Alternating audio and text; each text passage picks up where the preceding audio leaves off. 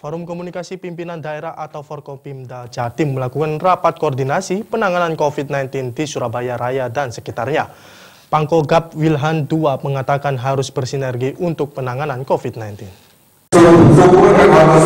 Presiden untuk Pangkogap Wilhan II untuk membawahi seluruh gugus tugas-tugas Forkompimda Jatim dan Forkompimda Kabupaten Kota di Surabaya Raya melakukan rapat koordinasi dalam penanganan COVID-19 di Gedung Prajurit Kodam 5 Brawijaya. Kegiatan ini dilakukan guna menyatukan frekuensi antara pemerintah kabupaten kota dengan pemerintah provinsi Jawa Timur. Kapolda Jawa Timur Ijen Pol Fadil Imran mengatakan perlunya kebersamaan dalam penanganan COVID secara preventif yang harus kita lakukan bersama dan TNI Polri siap melakukan pengawasan dan membackup penanganan COVID-19. Selain itu Panglima Komando Gabungan Wilayah Pertahanan Pangkogab Wilhan Dua mengatakan dalam penangani COVID-19 ini tidak bisa berjalan sendiri karena diperlukan sinergitas dalam menentukan langkah yang lebih baik dalam penanganan COVID-19.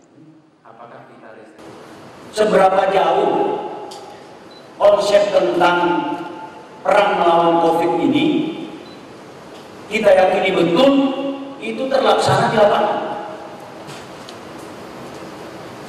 Mulai dari promotif, preventif, sampai ke penegakan Terus terang saat ini masih fluktuatif di Surabaya, Raya, dan sekitarnya ini angka penyebarannya masih fluktuatif.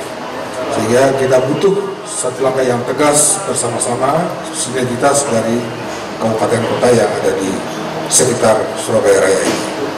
Dari hasil rakor diharapkan semua pihak dapat bersinergi dalam penanganan COVID-19 dari mulai pemerintah daerah sampai dengan provinsi untuk menentukan langkah yang lebih efektif bagi masyarakat di Surabaya Raya dan sekitarnya. Ferry Saputra, Surabaya TV.